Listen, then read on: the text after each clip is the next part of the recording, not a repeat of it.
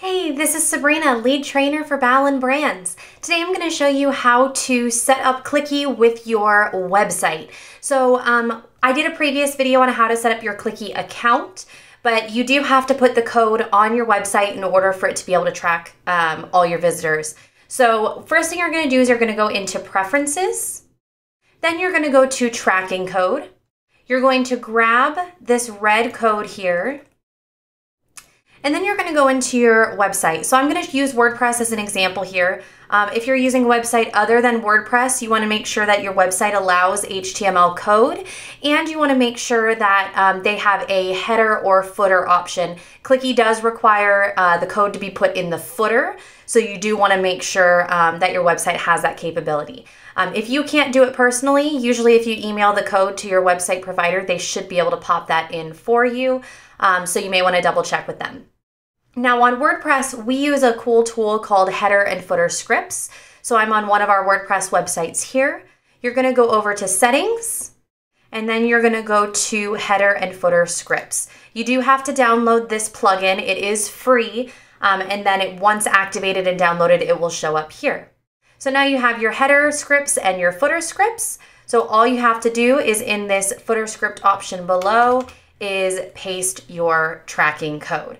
Um, I'm not going to leave this in here because we already have our tracking code all set up. Um, but once you paste it in, you're going to hit Save Settings, and that will update for you. Now, if you're using one of our um, Brew websites, so if you're a real estate agent and you're using our Brew, um, you're actually going to find it in a different section. We have it built into the theme. So you're going to go into Brew, Header Footer Scripts, and it's going to look the same here. So you have your head codes and your footer codes.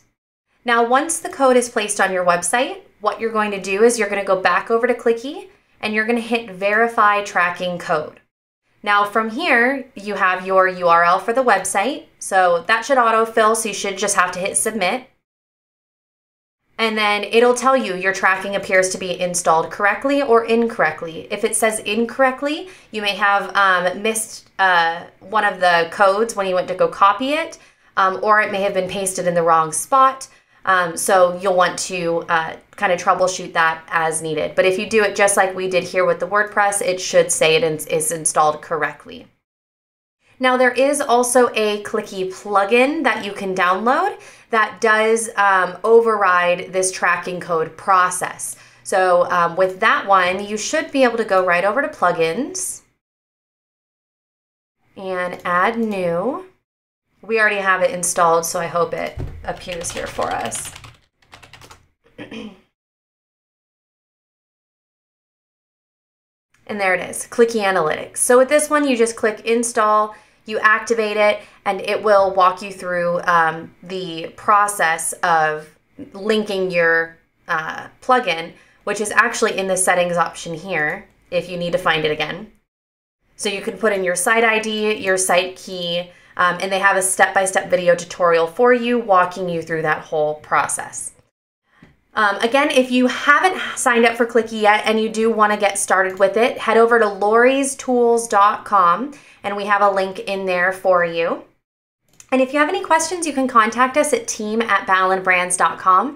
Uh, if you like this video, be sure to subscribe. And if you want more training videos like this one in a step-by-step -step process, be sure to head over to ranklikeaboss.com and check out our online training course. We have two courses, one for um, online marketing, and then we do also have an expansion specifically for real estate processes if you are a real estate agent. Again, if you have questions, let us know, and thanks for watching.